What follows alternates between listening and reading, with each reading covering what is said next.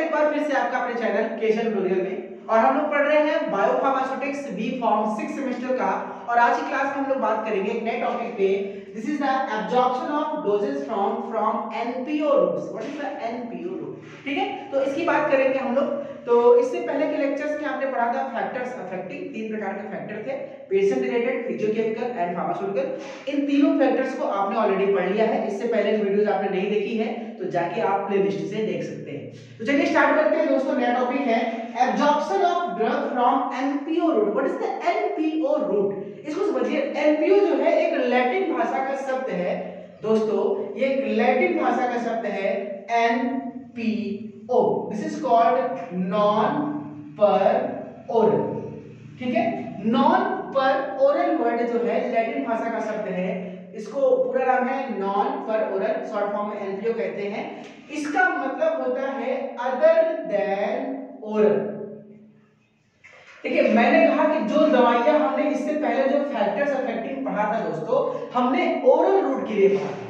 Tablet capsule syrup suspension emulsion everything जिसको हम मुँह से लेते हैं, मुँह से पीते हैं, मुँह से खाते हैं, बक्कल कैविटी के थ्रू खाते हैं this is called oral route oral drugs अगर ओरल के अलावा और भी ऐसे रूट होते हैं जिससे हम दवाइयों को अपने बॉडी में ग्रहण करते हैं, जिससे दवा जाती है तो वहाँ भी एब्जॉर्प्शन होगा। ऐसा नहीं कि केवल हमारे पेट में से एब्जॉर्प्शन होगा एब्जॉर्प्शन बाकी रूट से भी होता है तो वो कैसा एब्जॉर्प्शन होता है, किस तरह से होता है तो उसके बारे में पढ़ेंगे इस क्लास में। This is called absorption of drug from non per oral route इसको एक और रूट बोल सकते हैं एक्स्ट्रा वैस्कुलर ठीक है? यानी हमारे मुँह के अलावा जा रहा है तो एक्स्ट्रा वैस्कुलर रूट इसको हम बोल सकते हैं। तो पहला वर्ड इसमें क्या लिख सकते हैं कि NPO non per oral is derived from Latin words which means कि अदर देन ओरल रूट यानी ओरल रूट के अलावा तो there are lots of kind of dosage form are available which is except the oral route वो कौन कौन से dosage form होते हैं? वो नौ प्रकार के होते हैं डोसेज फॉर्म और नौ प्रकार को बारी-बारी से नाम समझ लेते हैं। कि there are following nine types of oral route NPO routes are available पहला है बक्कल सबलिंगुअल देखिए मुँह में तो जा रहा है, लेकिन मुँह का जो रूट है जीआईटी के थ्रू वो उससे नहीं जा रहा है। दिस इज़ कॉल्ड बक्कल या सबलिंगुअल ऐसी दवाइयों को हम जीभ के नीचे रखते हैं। सबलिंगुअल जो होता है, जीभ के नीचे रखते हैं। जैसे नाइट्रोग्लिसराइड जीटीआर ये सब आते हैं जो हार्ट की प्रॉब्लम्स के लिए होती है। तो क्या होता है? हमारे जीभ के नीचे रखते हैं डिसॉल्व होता है आपके सराइवा से और डायरेक्ट मिल जाता है आपके ब्लड स्ट्रीम में विदाउट पासिंग थ्रू जीआईटी दूसरा है रेक्टल रूट हमारी जो बॉडी के पीछे की कैविटी होती है रेक्टल कैविटी उसमें सपोजिटरी या हम टैबलेट्स इंसर्ट करते हैं और वो लोकल एक्शन देता है और हमारे वहाँ पे एब्जॉर्ब होकर सिस्टेमिक एक्शन भी देता है। इसके बारे में बात करेंगे हम लोग। अगला है हमारा इनहेलेशन रूट आपने एरोसॉल सुने होंगे इनहेलर सुने होंगे, जिसको हम लंग्स के द्वारा लेते हैं। इसको पल्मोनरी रूट भी कह सकते हैं पल्मोनरी एडमिनिस्ट्रेशन भी कह सकते हैं, जिसको हम इनहेल करते हैं, ठीक है? अगला है नेजल एडमिनिस्ट्रेशन या नेजल रूट तो जो ना कुछ नेजल स्प्रे आते हैं, जैसे कि कैल्सिटोनिन सुना होगा इस बारे में? तो कैल्सिटोनिन को हमेशा हम नेजल रूट से ही लेते हैं। तो नेजल रूट में जब नॉक पर डालेंगे तो वहाँ पे क्या होगा? ये हमारे म्यूकोसा से एब्जॉर्ब होकर ब्लड में जाएगा और वहाँ पे सिस्टेमिक या लोकल एक्शन देगा, दोनों। अगला है ऑकुलर रूट आई ड्रॉप यानी आई ड्रॉप है आई लोशन है आई क्रीम है। तो आँखों के लिए जो हम दवाई डालते हैं, वो हमने आँखों में डालते हैं। हमको आई ड्रॉप हम कभी मुँह में डालते हैं मुँह में डालकर पीते नहीं, हम आँखों में डालते हैं। This is called ocular administration route. Okay. The next is subcutaneous administration. तो सबक्यूटेनियस जानते हैं हमारी जो स्किन की लेयर होती है क्यूटेनियस सबक्यूटेनियस तो सबक्यूटेनियस लेयर के अंदर इंसर्ट करते हैं और वो ड्रग एब्जॉर्ब होकर हमारे कहाँ पहुँचती है ब्लड में जैसे कि इंसुलिन का इंजेक्शन जो डायबिटीज़ के पेशेंट होते हैं, उनको दिया जाता है, वो सबक्यूटेनियस रूट से होता है अगला है आईएम इंट्रामस्कुलर रूट इसकी बात कर लेते हैं। तो ये हमारे मसल्स में जो इंजेक्शन लगते हैं, वहाँ पे डिपोट बनाता है और डिपोट बनाने के बाद वहाँ पे ड्रग स्टोर होता है और धीरे धीरे ब्लड स्ट्रीम में रिलीज़ होता है। ये भी विदाउट जीआईटी इसका मूवमेंट है। दिस इज़ इंट्रामस्कुलर रूट अगला है वेजाइनल एडमिनिस्ट्रेशन तो ये फीमेल्स के लिए बेसिकली होता है। जैसे रेक्टल कैविटी में हम सपोजिटरी यूज़ करते हैं, उसी तरह फीमेल्स के। वेजाइनल में हम लोग कैविटीज में सपोजिटरीज यूज़ करते हैं। ये लोकल एक्शन के लिए कुछ प्रॉब्लम्स होती है फीमेल्स में। जो लोकल प्रॉब्लम्स है या मेंस्ट्रुअल रिलेटेड प्रॉब्लम है, या अलग अलग जो प्रॉब्लम्स होती है, उनके केसेस के लिए भी इसका इस्तेमाल किया जाता है। अगला है टॉपिकल रूट जिसमें हम लोग लोशन, मलहम अपने स्किन के ऊपर लगाते हैं ना, मलहम लगाते हैं क्रीम लगाते हैं पाउडर लगाते हैं, जो एब्जॉर्ब होकर हमारे ब्लड में जाता है और वहाँ पे लोकल और सिस्टेमिक दोनों एक्शन देता है। तो ये अलग प्रकार के नौ रूट हैं। अब इन अलग प्रकार के नौ रूट को हम बारी बारी से समझेंगे। इनके क्या फैक्टर्स अफेक्टिंग है एब्जॉर्प्शन को इसको समझेंगे और इनके बारे में डिटेल में हम बारे बारे में बातें करेंगे। इसमें से ज़्यादा डिटेल नहीं पढ़ना है, जो ज़्यादा इसमें जहाँ तक है, बक्कल के बारे में। आपको ज़्यादा पढ़ना है, कुछ नेजल है, कुछ दुधीन है, जिसको आपको ब्रीफ करना है। ठीक है? तो हम बात करेंगे अगला टॉपिक है major advantage of these routes अगर हम इस रूट का इस्तेमाल करते हैं तो क्या ये ओरल से ज़्यादा बेटर है? कि ओरल बेटर है कि ये बेटर है? तो देखिए एब्जॉर्प्शन के केस में देखा जाए तो ओरल सबसे अच्छा इसलिए माना जाता है, क्योंकि ओरल डोजेज फॉर्म होते हैं, वो टेक्निकली बहुत सस्ते होते हैं। बाकी रूट के लिए अगर आप कोई मेडिसिन बनाते हैं तो उसमें आपको कुछ टेक्निक्स का इस्तेमाल करना पड़ता है। थोड़ा सा लॉन्ग टर्म यूज़ करना पड़ता है। थोड़ी सी इरिटेशन प्रॉब्लम हो सकती है कुछ डिसएडवांटेज तो है, लेकिन एब्जॉर्प्शन की माने तो इसमें कुछ चार बहुत बड़े इसके हमारे कुछ एडवांटेज हैं, जिसका इस्तेमाल करके हम अपना ओरल रूट से ज़्यादा अच्छा रिज़ल्ट हम इससे पा सकते हैं। तो आपका नेक्स्ट हेडिंग है एडवांटेज ऑफ़ दीज रूट्स तो चार एडवांटेज हम बारी बारी डिस्कस करेंगे। पहला एडवांटेज है avoid of first pass metabolism आपने सुना होगा what is the first pass metabolism कि जब हम कोई दवा खाते हैं, हमारे पेट में जाती है और पेट में डिसइंटीग्रेट डिसॉल्व होकर ब्लड में जाती है और ब्लड में जाने से पहले कुछ हिस्सा उसका लीवर में चला जाता है। और आपको पता है लीवर में पाए जाते हैं ढेर सारे माइक्रोसोमल एंजाइम्स जो ड्रग को मेटाबोलाइज कर देते हैं ड्रग को इनएक्टिवेट कर देते हैं। तो जितना हिस्सा हमारे लीवर में चला गया और जितना हिस्सा हमारे ब्लड में चला गया तो जितना हिस्सा ब्लड में गया, वो एक्शन करेगा। दिस इज़ कॉल्ड बायोअवेलेबिलिटी और जितना हिस्सा लीवर में चला गया उस ड्रग का, वो हमारा ड्रग किसी काम का नहीं है, वो खराब हो जाता है। This is called first pass metabolism okay तो हमारे ड्रग में जितना ज़्यादा फ़र्स्ट पास मेटाबॉलिज्म होगा, उतना ज़्यादा ही ड्रग की बायोबिलिटी कम हो जाएगी और बायोबिलिटी कम होने के कारण हमारे ड्रग का एक्शन घट जाएगा, दवा का रिस्पॉन्स कम हो जाएगा। लेकिन अगर हम इन इस रूट का इस्तेमाल करते हैं तो ये दवा इस रूट के द्वारा डायरेक्ट ब्लड में जाएगा, कभी भी हमारे लीवर में नहीं जाएगा। और जब लीवर में नहीं जाएगा तो फ़र्स्ट कॉज मेटाबोलिज्म नहीं होगा, इसका सबसे बड़ा एडवांटेज ये है। तो पहला पॉइंट क्या ले सकते हैं कि because by these route drug never pass from the G I T and liver so there is no chances of the drug first cause metabolism and the bioavailability of drugs can be increase up to hundred percent ये पहला factor है। दूसरा advantage है avoid of drug degradation और digestive juice देखिए, जब हम दवा खाते हैं, दोस्तों, हमारे पेट में जाता है और पेट में गैस्ट्रिक एसियल होता है और गैस्ट्रिक एसियल के साथ साथ ढेर सारे एंजाइम्स होते हैं, जिसको हम लोग गैस्ट्रिक जूस कहते हैं। तो बहुत सी दवाइयाँ ऐसी होती हैं जो इस एंजाइम के इफ़ेक्ट में आकर के खराब हो जाती है। बहुत सी दवाइयाँ होती हैं। तो इसमें क्योंकि हमारा जो दवा है, वो पेट में तो जा ही नहीं रहा है जीआईटी को जा ही रहा है। तो जो डिग्रेडेशन हो रहा था एंजाइमेटिक डिग्रेडेशन हो रहा था गैस्ट्रिक जूस के द्वारा डाइजेस्टिव जूस के द्वारा, वो नहीं होगा, ये दूसरा फ़ायदा है। तो इस पर नेक्स्ट पॉइंट क्या ले सकते हैं कि ओरल टैबलेट्स और capsules way goes into the gastric juice media या digestive juice media then the then the effect of several enzymes they degraded but in this in these routes there is no chances of gastric degradation gastric juice degradation of the drug third point है rapid action देखिए, आपका एक सबसे बड़ा फ़ायदा इस root का यह है कि ओरल के कंपेयर में सबसे ज़्यादा मतलब तेज़ी से एक्शन होगा। इसमें से कुछ है, जैसे कि हमारा आईएम हो गया आईवी हो गया नेजल हो गया, इसका एक्शन तो बहुत जल्दी है। और कुछ के एक्शन थोड़ा धीरे हैं, लेकिन ओरल से ज़्यादा तेज एक्शन देता क्यों? क्योंकि ओरल टैबलेट्स आप खाओगे, पेट में जाएगा डिसइंटीग्रेट होगा 10-15 मिनट डिजॉल्व होगा 10-5 मिनट, फिर आपके एब्जॉर्ब होगा 10-5 मिनट, फिर रिसेप्टर से बाइंड करेगा 5-10 मिनट। यानी एक्शन आने में हो सकता है आधे से घंटे लग जाए। लेकिन इन केसेस में ड्रग बिना जीआईटी को पार किए, बिना ताम झाम किए डायरेक्ट आपके ब्लड में पहुँच रहा है, जल्दी पहुँच रहा है। दैट्स वाई इसका जो एक्शन होगा, वो रैपिड होगा और जल्दी होगा। ठीक है? तो नेक्स्ट पॉइंट लिख सकते हैं कि these routes give a rapid action other than oral drugs next है depot preparation for prolong use इस दवाओं का जो है एक्शन भी लंबे समय तक हो सकता है, क्योंकि कुछ डोजेस में डिपोट बनता है। खास तौर पे डिपोट की बात की जाए तो आईएफ इंट्रामस्कुलर में डिपोट बनता है। दोस्तों डिपोट क्या होता है? आपने सुना होगा Meja depot Banaras depot Allahabad depot Kanpur depot कहीं डिपो सुना है? डिपो मतलब एक ऐसा एरिया जहाँ पे बस इकट्ठा होती है।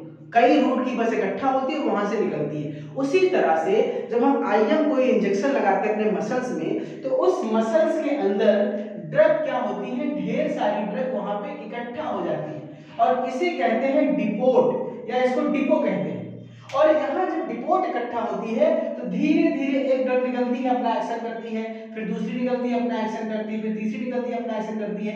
यानी एक जगह पे बस स्टेशन पे बस इकट्ठा हो गई और धीरे धीरे बस अपने अपने रास्ते पे निकल रही है। तो इससे क्या होगा? ड्रग का एक्शन भाई, पूरी ड्रग एक बार में निकल जाएगी। और ऐसा नहीं काम खत्म तो हो सकता है दो चार घंटे ऐसा नहीं खत्म हो जाएगा। लेकिन जब धीरे धीरे ड्रग निकल रहा है और देर तक निकलेगा तो जो ड्यूरेशन ऑफ़ एक्शन है वो लंबा हो जाएगा प्रोलॉन्ग हो जाएगा। तो इसका सबसे अच्छा एडवांटेज है कि some of the drugs like intravascular drugs making the drug depots so the rate of release of drug is prolong जो रेट ऑफ़ रिलीज़ है, वो लंबे समय तक हो जाता है। तो ये ओवरऑल इसके एडवांटेज हो गए।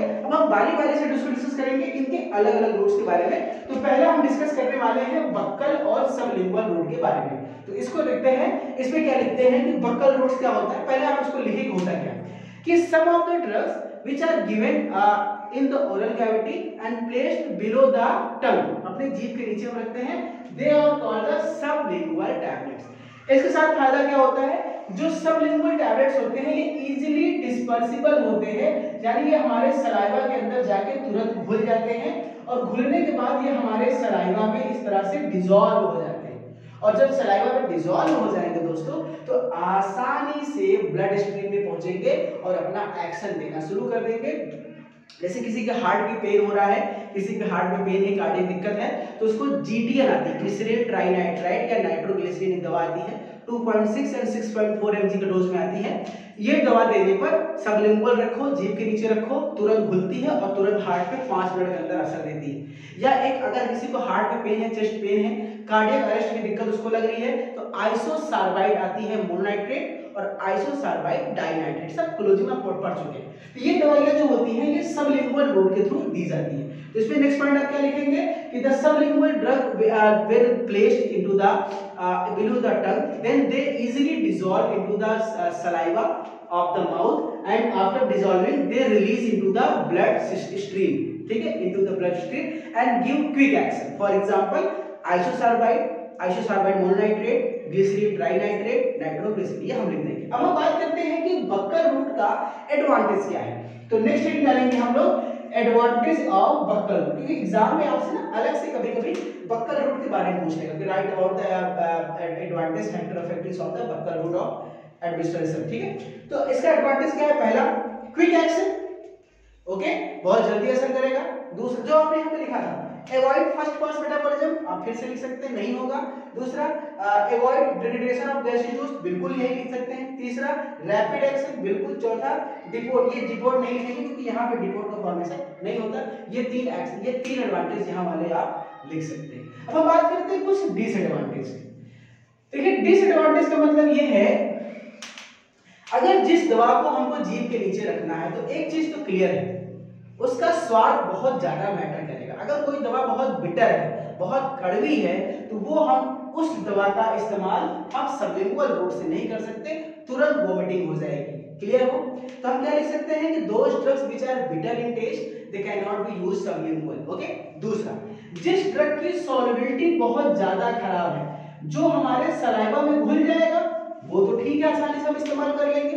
लेकिन जो ड्रग हमारे सलाइवा में नहीं घुलेगा जिसकी सॉलिबिलिटी खराब है, वो हम ऐसे ड्रग का इस्तेमाल नहीं कर सकते। तो हम क्या लिखेंगे? Drug which are very poorly soluble in water they can not be given sublingually तीसरी बात हम कर सकते हैं कि अगर हो सकता है कि हमारे किसी को मुँह में छाले पड़े हों, जो लोग पान, गुटखा, सुपारी खाते हैं, उनके जो म्यूकोसा है, वो कटे, फिटे हों तो उस केस में भी क्या है थोड़ी सी ड्रग के एब्जॉर्प्शन में दिक्कत हो सकती है। When the mucosa lining is injured or there is the wound या ulceration problem, then the absorption of these drugs may create problem से कुछ प्रॉब्लम कर सकते हैं। ठीक है? अब हम बात करेंगे अगली हेडिंग जो मैं वर्ड्स बोल रहा हूँ, ये आपको लिखना है नोट्स बनाना है। खुद से नोट्स बनाओगे तो ज़्यादा अच्छा नंबर पाओगे और रिवीजन जल्दी अच्छा हो पाएगा। बाकी अगर आप आलसी हैं मेरी तरफ़ तो आप वेबसाइट पे जाके डाउनलोड कर लीजिए kclpharmacy.com पे। तो हम बात करेंगे फैक्टर्स अफेक्टिंग पे कि कैसे कौन कौन से फैक्टर हैं जो अफेक्ट करते हैं, किसकी बात कर रहा हूँ, बक्कल या सबलिंगुअल रूट की। तो बक्कल या सबलिंगुअल रूट की जो फैक्टर है कौन कौन से हैं, पहला फैक्टर है द परमिएबिलिटी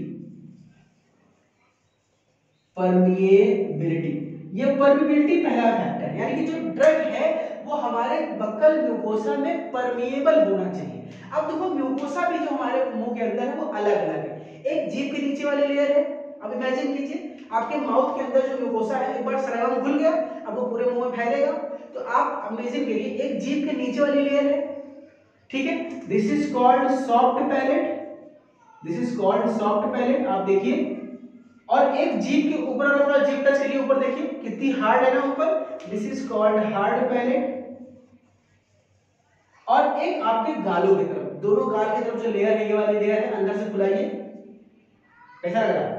ठीक है? दिस इज़ कॉल्ड म्यूकोसा तो तीनों में म्यूकोसा की लेयर है। सॉफ्ट पैलेट में भी हार्ड पैलेट में भी। तो अब आप देखिए कि जहाँ ऊपर वाला हार्ड पैलेट है, वहाँ पे एब्जॉर्प्शन सबसे कम होगा। जीभ के नीचे और गालों से। तो क्योंकि गालों से नीचे, जीभ के नीचे से सर्कुलेट एरिया ज़्यादा है तो वहाँ पे कैविटीज बनती है। तो सबसे ज़्यादा म्यूकोसा हमारा जो एब्जॉर्प्शन है सॉफ्ट पैलेट से होता है। ठीक है? तो हम आसानी से लिख सकते और यहाँ भी परमिबिलिटी बात आएगी। तो यहाँ भी वही फैक्टर काम करेगा क्या? ड्रग का नेचर लाइपोफिलिक होना चाहिए। क्यों दोस्तों लाइपोफिलिक होना चाहिए? क्योंकि ड्रग सेल मेम्ब्रेन को पार करेगा ब्लड में जाने के लिए। और ब्लड मेम्ब्रेन में जो सेल मेम्ब्रेन है, वो फास्फोलिपिड बाइलेयर का बना होता है। तो ड्रग का नेचर लाइपोफिलिक होना चाहिए। ये चीज़ें आपको ध्यान देगी तो पहला हेडिंग है द परमिबिलिटी फैक्टर अफेक्टिंग में।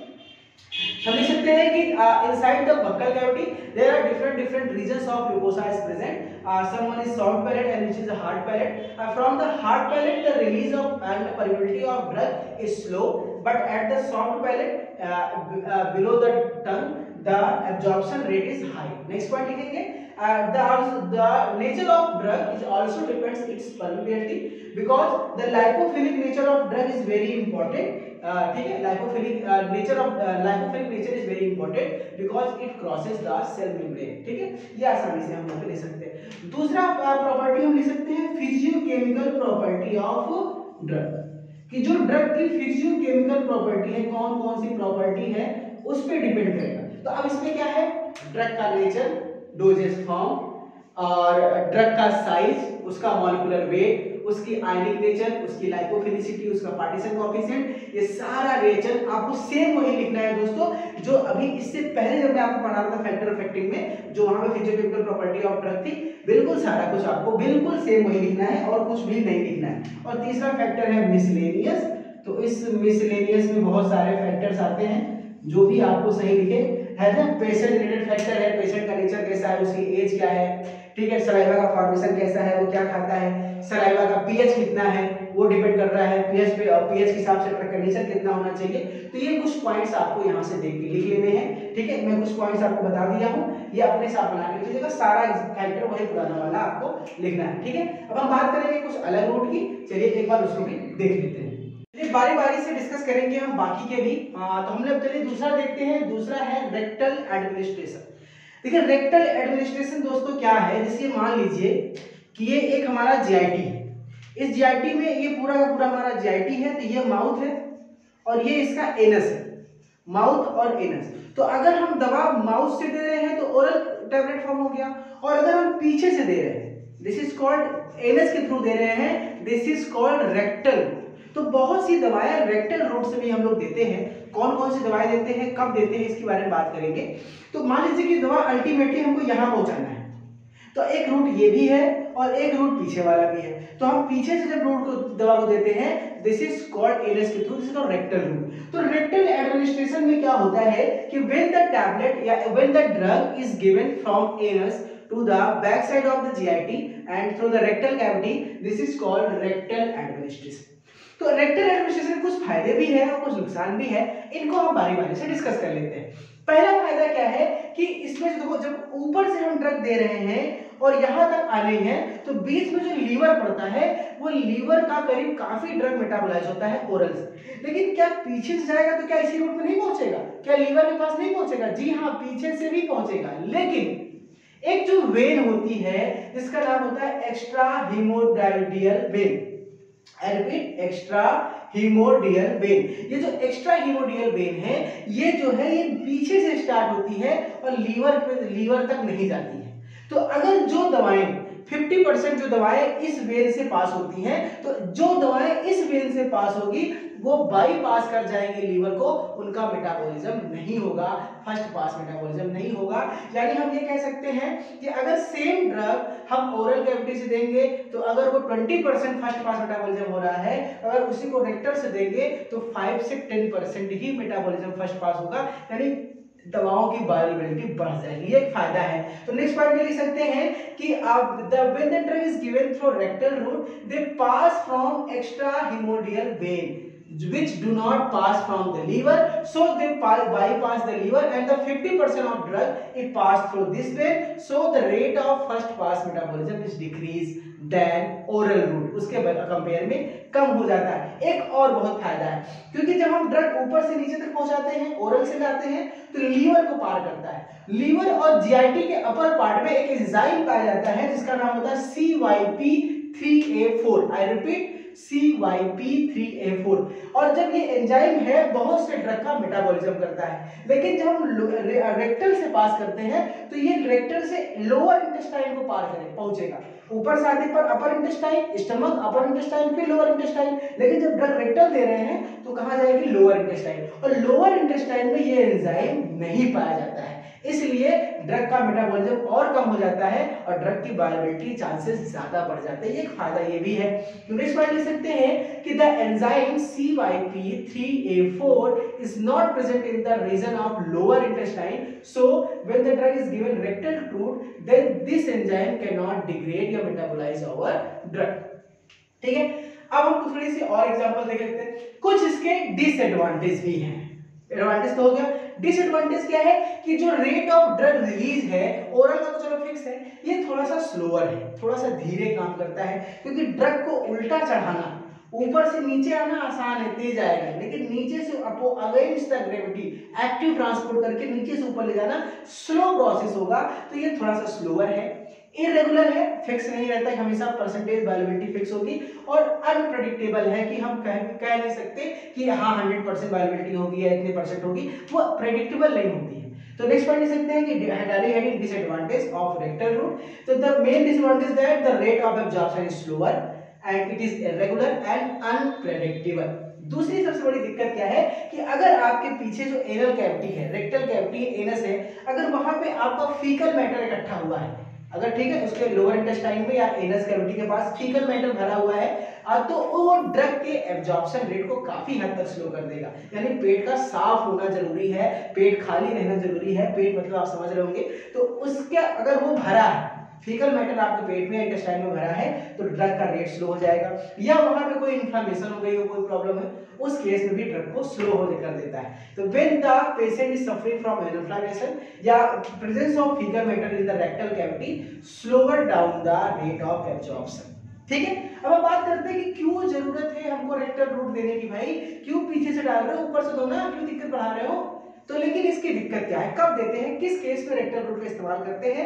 तीन केस में, दो केस में, जब पेशेंट बहुत ज़्यादा वोमिटिंग कर रहा हो, यानी कुछ भी खिला रहे हो तो उल्टी कर देगा। पानी भी नहीं पी पा रहा है तो उस केस में आप जो भी दवा देंगे ओरल कैविटी से मिड आउट करेगा। दूसरा, वो अनकॉन्सियस है, मुँह नहीं खोल पा रहा है, बिल्कुल उसमें होश नहीं है, बेहोश है, कोमा में है तो उस केस में इसका इस्तेमाल हम लोग कर सकते हैं कि when the patient is vomiting out very frequently and is they are in unconscious condition then this route is prefer over than oral oral की अपेक्षा हम इस रूट का इस्तेमाल कर सकते हैं। बाकी आईवी आईएम का भी इस्तेमाल कर सकते हैं। लेकिन ये ओरल के कंपेयर में दिस इज़ बेटर ओके ये आपने लिख लिया। अब हम बात करेंगे अगला, तीसरा है इनहेलेशन या पल्मोनरी एडमिनिस्ट्रेशन जिसको हम लोग माउथ में देखा हम लोग एरोसॉल यूज़ करते हैं इनहेलर यूज़ करते हैं।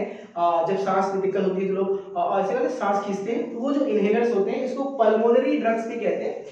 तो पल्मोनरी एडमिनिस्ट्रेशन का इस्तेमाल कब करते हैं? क्या इसके एडवांटेज है, क्या इसके डिसएडवांटेज है? इसके बारे में हम डिस्कस करते हैं। चलिए। तो जो पल्मोनरी है, इसमें सबसे पहली बात, केवल उन दवाओं का इस्तेमाल कर सकते हैं जो वोलाटाइल या गैसियस नेचर के हों। सॉलिड या लिक्विड ड्रग का इस्तेमाल बेसिकली नहीं करते हैं। हम लोग वोलाटाइल या गैसियस ड्रग नेचर का है, उसका इस्तेमाल करते हैं पहला। This drug is given for only those dosage form which are volatile या गैसियस इन नेचर दूसरा इसका सबसे बड़ा फ़ायदा क्या है कि ये जब हमारे ओरल रूट से लंग्स में जाता है तो लंग्स में होते हैं ढेर सारे अंगूर के गुच्छे। जी हाँ अंगूर के गुच्छों को ही एल्यूलाई कहते हैं। और जब ये एल्वोलाई में जाते हैं तो ज़्यादा सरफेस एरिया कवर करते हैं तो ड्रग का एब्जॉर्प्शन रेट ज़्यादा होता है। जीआईटी कंपेयर किया ज़्यादा। देखो, अगर हम ऐसे खाएँगे जीआईटी में जाएगा तो वहाँ इंटेस्टाइन के थ्रू होगा, और यहाँ पे हमारे एल्वोलाई के थ्रू होगा तो एल्वोलाई की संख्या ज़्यादा है। सरफेस एरिया ज़्यादा मिलेगा तो ड्रग एब्जॉर्प्शन भी ज़्यादा होगा। यानी इसका एब्जॉर्प्शन ओरल से ज़्यादा होता है और रेट ऑफ़ एब्जॉर्प्शन भी फास्ट होता है। तो नेक्स्ट पॉइंट क्या लिख सकते हैं कि because in the lungs the large number of alveoli are present, so it have larger surface area, so the drug rate of absorption and onset of action is very very high ठीक है? आगे बात कर सकते हैं। बिल्कुल तीसरा फ़ायदा क्या है कि क्योंकि ये लीवर से तो पास होना नहीं है तो फ़र्स्ट पास मेटाबॉलिज्म के चांसेस बिल्कुल नहीं है। 100 परसेंट वायबिलिटी हो जाएगी। तो because it does not pass from the liver, so the rate of the first pass metabolism is reduced या इज़ ज़ीरो ये तो कुछ फ़ायदे हो गए। अब हम बात कर लेते हैं इसके डिसएडवांटेज इसके नुकसान क्या क्या है। तो इसमें क्या लिखेंगे? पहला कि एक चांसेस ये है कि अगर आपने बहुत दवा को खींचा तेज क्योंकि ये हमारे रूट से आएगा और ये लंग्स में फैलेगा। और यहीं पे होता है हमारा सबसे सेंसिटिव पार्ट हार्ट जी हाँ दिल हमारा। तो चांसेस बहुत हद तक होते हैं कि ड्रग हमारा एब्जॉर्ब होके वो हमारे हार्ट में चला जाए। बहुत एक बड़ा साइड इफ़ेक्ट इसका है। तो चांसेस होते हैं हमारे हार्ट में जाने की और कुछ दवाइयाँ जो हार्ट के लिए सेंसिटिव होती हैं, वो इस्तेमाल हम इसमें नहीं कर सकते। ये इसका सबसे बड़ा डिसएडवांटेज तो पहला लिखेंगे डिसएडवांटेज कि because the this this route is very close to the heart so there is a chances of the drug absorb into the cardiac या the heart so those drug which are cardiac toxic can not be given through this route okay दूसरा इसमें एक problem ये है कि अगर हम ये, क्योंकि जब जिस रूट से जा रहा है, उसी रूट में हमारा कॉमन पैसेज है रिस्पायरेटरी का भी और हमारे फेरिक्स लैरिंग्स का भी। तो ये हमारे रिस्पायरेटरी सिक्रीशन को इंक्रीज कर सकता है। हो सकता है कि आपको खांसी आने लगे, हो सकता है आपको बलगम निकलने लगे, अगर आपको ड्रग सूट नहीं कर रहा है तो because they can they can increase the respiratory secretion and mucus secretion ठीक है, ये दूसरा इसका नुकसान है। और तीसरा नुकसान ये है कि बहुत बड़े साइज़ का पार्टिकल अगर पार्टिकल साइज़ 10 माइक्रोन से छोटा है तब तो इसका एब्जॉर्प्शन हो जाएगा, लेकिन अगर 10 माइक्रोन से बड़े साइज़ का है तो इसका एब्जॉर्प्शन दिक्कत करेगा। तो नेक्स्ट पॉइंट में लिख सकते हैं कि the particle size which is slow smaller than the 10 micron can only pass through this route if the particle size of drug is larger than 10 micron this this route is not suitable for drug absorption ठीक है? अब हम बात कर लेते हैं चौथे route की दोस्तों.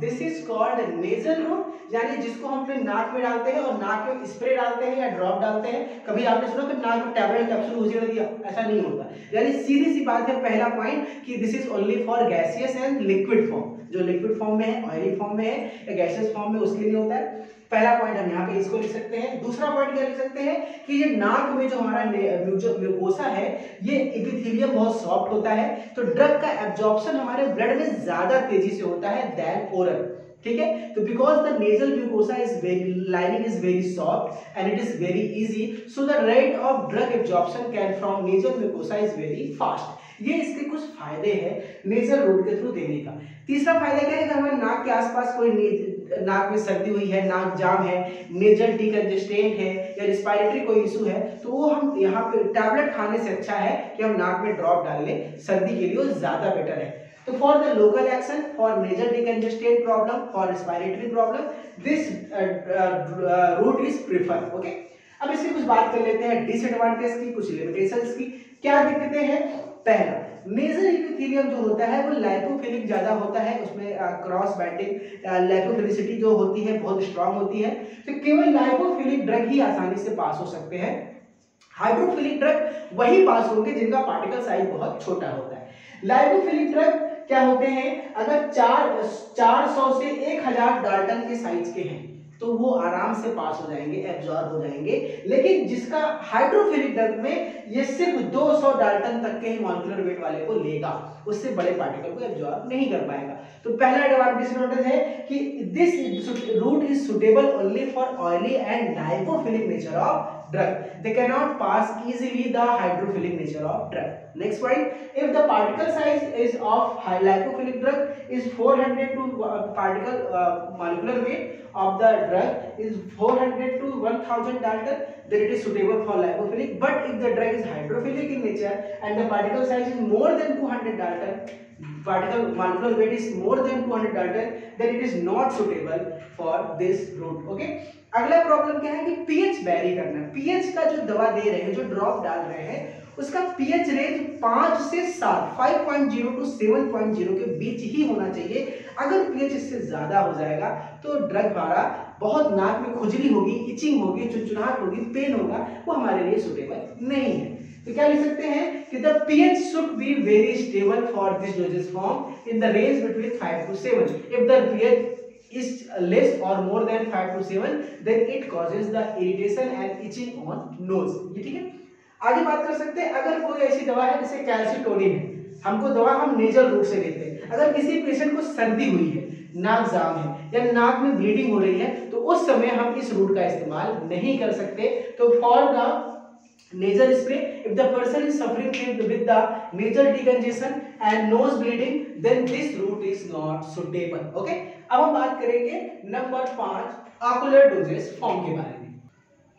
बात करते हैं एक और इंपॉर्टेंट ड्रग की this is the ocular administration ocular का मतलब है ऑप्थेल्मिक और ऑप्थेल्मिक का मतलब है थ्रो आई यानी हम अपनी आँखों के लिए जो दवा का इस्तेमाल करते हैं या आई के रूट से जो ड्रग देते हैं दिस इज़ कॉल्ड ऑकुलर तो ऑकुलर ड्रग का इस्तेमाल बेसिकली सिस्टेमिक एक्शन के लिए होता है, ये लोकल एक्शन के होता है। आँखों में जो लोकल इफ़ेक्ट है जैसे कि माइड्रासिस, मायोसिस ग्लूकोमा जैसी दिक्कतों के लिए कैटराइट जैसी दिक्कतों के लिए जो हम आई ड्रॉप्स डालते हैं, वो इसका लिए बेसिकली इस्तेमाल होता है। तो these ocular dosage form are given through eye या dosage form and they are use basically for local effect in the case of miosis mydriasis cataract and glaucoma आगे हम बात करते हैं, इसमें कुछ शर्तें हैं, क्योंकि ये बहुत ही सेंसिटिव रूट है तो जो ड्रग है वो बहुत ही ज़्यादा स्टेराइल होना चाहिए बैक्टीरिया वायरस से फ्री होना चाहिए। द आकुलर डोजेस फॉर्म या आकुलर रूट सुट या the ophthalmic dosage form must be sterile and free from the micro organism इसमें सबसे बड़ी चीज़ क्या है कि जो आँखों से जो ड्रग हमारे ब्लड तक पहुँचता है, जो बीच का बैरियर है वो कॉर्निया है। हमारी जो आँखों के सामने दिखती है कॉर्निया और कॉर्निया एक बैरियर है, लेकिन एक बहुत ही खूबसूरत बात यह है कि ये और हाइड्रोफिलिक दोनों ही तरह की ड्रग को पास होने देता है इस बैरियर से एब्जॉर्प्शन बढ़िया होता है। तो the basically barrier is cornea for the absorption of drug through ophthalmic route but both lipophilic and hydrophilic drug can easily pass from this route. Okay? आगे हम बात करते हैं कि कौन कौन से ऐसे फैक्टर हैं जो ऑप्थेल्मिक ड्रग के एब्जॉर्प्शन पे अफेक्ट करते हैं। तो अगला हेडिंग रहेगा factor affecting absorption of ocular administration पहला है पीएच ऑफ़ लैक्राइमल फ्लूइड हमारी आँखों में जो आँसू है ना, उस आँसू का पीएच वो डिपेंड करता है 7.2 से 7.4 होता है और वो पीएच उसका डिपेंड करता है कि ड्रग हमारा कितना एब्जॉर्ब होगा। अगर किसी ड्रग का पीएच बहुत कम है या बहुत ज़्यादा है तो आँखों में खुजली होगी चिमचिलाहट होगी, आँसू बहुत निकलेंगे तो उससे ड्रग का एब्जॉर्बन घटेगा। दूसरा है पीएच ऑफ़ द फॉर्मुलेशन जो आई हमने बनाया है, उसका पीएच क्या है, वो भी फैक्टर इफ़ेक्ट करेगा, बहुत ज़्यादा। तीसरा वॉल्यूम ऑफ़ द फ्लूइड कितना एक बार में हम ड्रग डालते कभी आपने सुना है कि एक बाल्टी खोल के आँखें भर दिया? नहीं। एक से दो बूंद डालते हैं ड्रॉप यानी मैक्सिमम जो अमाउंट है वो 10 माइक्रोलीटर का होता है, यानी स्मॉल अमाउंट में ही देते हैं। एब्जॉर्प्शन और चौथा फैक्टर है ड्रग कांटेक्ट टाइम आँखों में आई डालने के बाद कुछ देर आप लेटे रहिए ताकि पूरी तरह से कार्निया में डिस्ट्रीब्यूट होके वो एब्जॉर्ब हो जाए। पता चला, आँख में डाला और उठ के काम करने लग गए ड्रग बह जाएगी, आपके बॉडी में असर होने वाला नहीं है। तो drug contact time should be maximum जितना ज़्यादा होगा ड्रग का एब्जॉर्प्शन उतना ही बेहतर होगा। चलिए हम बात कर लेते हैं, एक और रूट है। देखिए सबक्यूटेनियस इंट्रावेस्कुलर ऑलरेडी फार्माकोलॉजी पढ़ चुके हैं। ये पेरेंटल रूट है, इसका एडवांटेज डिसएडवांटेज ऑलरेडी आप क्लोजिंग पढ़े फोर्थ सेमेस्टर में, आप वहाँ से देख लीजिएगा, अलग से पूछेगा नहीं। वेजाइनल रूट के बारे में पढ़ लेते हैं और टॉपिकल भी आपने छोटे में पढ़ा है। इसके भी ऊपर से जो हम लोग लोशन मलहम लगाते हैं सबक्यूटेनियस लेयर को पार करता है म्यूकोसा को पार करता है वो जाता है। तो इसको भी डिस्कस नहीं करते वेजाइनल थोड़ा सा इंपॉर्टेंट है एग्ज़ाम में पूछा गया है। तो बात करते हैं नेक्स्ट टॉपिक है वेजाइनल रूट की। तो वेजाइनल एडमिनिस्ट्रेशन ऑफ़ ड्रग तो आप जानते हैं वेजाइना क्या होता है? ये बेसिकली फीमेल्स के लिए यूज़ किया जाता है। तो जैसे हम लोगों ने देखा था कि मेल्स के लिए या दोनों के लिए जो रेक्टल रूट होता है, उसी तरह से आगे वेजाइनल कैविटी होती है। वेजाइना के थ्रू हम ड्रग देते हैं। अब ये कौन सी दवाओं का इस्तेमाल हम वेजाइनल रूट से करते हैं। ये भी एक लोकल एक्शन के लिए, या तो कंट्रासेप्टिव्स हो जो फीमेल्स के लिए कंट्रासेप्टिव्स होती है, गर्भ निरोधक दवाइयाँ होती हैं प्रेगनेंसी को अवॉइड करने के लिए, या वहाँ पे अगर ल्यूकोरिया जैसी कोई दिक्कत हो गई है, कोई प्रॉब्लम है इन्फेक्शन है तो एंटी फंगल या एंटी माइक्रोबियल क्रीम्स या सपोजिटरीज का इस्तेमाल वेजाइनल रूट के द्वारा किया जाता है। तो vaginal drugs are given for the contraceptive actions and some other uh, local action like antifungal and antimicrobial drugs are given for licoria like problems. ठीक है? आगे हम बात करते हैं ये बेहतर क्यों है? क्योंकि जो वेजाइना होता है उसके अंदर ब्लड वेसल का एक काफ़ी डेंस नेटवर्क पाया जाता है। यानी वहाँ पे ब्लड वेसल काफ़ी डेंस नेटवर्क के फॉर्म में होता है और क्योंकि ब्लड वेसल काफ़ी डेंस है इसलिए वहाँ पे ब्लड की सप्लाई भी बहुत ज़्यादा है और ब्लड ड्रग का एब्जॉर्प्शन होने का चांसेस भी बहुत ज़्यादा है। तो क्या लिख सकते हैं? कि because the dense network of blood vessel is present in vagina so the blood stream या ब्लड सप्लाई इज़ मैक्सिमम या is better so the better absorption of drug में from rather than oral route से ज़्यादा अच्छा होता है। ठीक है? कुछ इसके एडवांटेज देख लेते हैं। पहला एडवांटेज है कि वही चीज़ कि, क्योंकि ये लीवर में तो जाएगा नहीं। तो ना तो फ़र्स्ट पास मेटाबॉलिज्म होगा ड्रग का और ना ही जो पेट में जाएगा तो ना ही गैस्ट्रिक डिग्रेडेशन होगा। तो because it avoid the first pass metabolism and also avoid the gastric degradation of ये पहला फ़ायदा है। दूसरा फ़ायदा है कि जो भी ड्रग छोटे साइज़ के होते हैं लो मॉलिक्यूलर वेट के होते हैं, उसकी परमिएबिलिटी बहुत ज़्यादा होती है। क्यों? क्योंकि यहाँ पे ब्लड वेसल बहुत डेंस पाए जाते हैं। तो जो ओरल रूट से ज़्यादा तेज एक्शन कौन करेंगे? तो the drug which are low molecular weight they are very highly permeable for vaginal route कुछ इसके डिसएडवांटेज हैं कि अगर वहाँ पे आपने पर्सनल हाइजीन को मेंटेन नहीं किया है, वहाँ पे किसी प्रकार का इन्फेक्शन है प्रॉब्लम है, या सेक्सुअल इंटरकोर्स के टाइम पे ये ड्रग वहाँ पे आपका वो डिस्ट्रॉय हो जाता है, नष्ट हो जाता है तो उस केस पे ये आपका ड्रग काम नहीं करता है। तो ये था पूरा का पूरा दोस्तों एब्जॉर्प्शन चैप्टर बायोफार्मास्यूटिक्स के यूनिट नंबर वन में दो चैप्टर था chapter number one absorption and chapter number two distribution तो हम लोगों ने एब्जॉर्प्शन यानी पार्ट वन खत्म कर लिया है। नेक्स्ट लेक्चर से हम इसका सेकंड पार्ट स्टार्ट करेंगे. डिस्ट्रीब्यूशन मिलते हैं आपसे नेक्स्ट क्लास में. Thank you so much